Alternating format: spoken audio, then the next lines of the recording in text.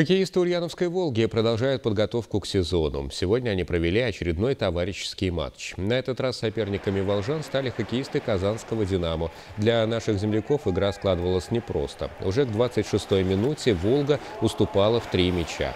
На перерыв команды ушли при счете 4-2 в пользу гостей. Во втором тайме картина поменялась. Ульяновские хоккеисты добавили в скорости и использовали несколько стандартов.